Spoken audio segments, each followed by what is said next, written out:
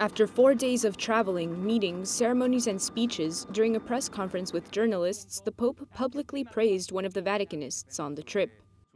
Si diceva che questa giornalista è a disposizione le 24 ore per il lavoro, che sempre lascia passare gli altri prima, lei dietro, e che sempre dà la parola agli altri e lei cita. Bello eh, di un giornalista che dicano questo. E questo lo dice Manuel Beltrán sulla nostra Eva Fernandez. Grazie. But Francis referenced an article by Jose Beltran, the director of Vida Nueva, a magazine the Pope is very fond of. Hearing the Pope's words and her colleagues' applause left the journalist nearly speechless.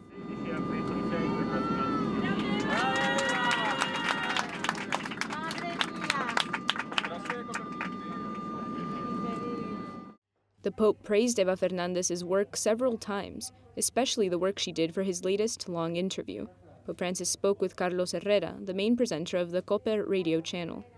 Eva Fernandez insisted for years to get the Pope to do that interview, and she took care of preparing a good chunk of the questions and of coordinating everything to make it possible.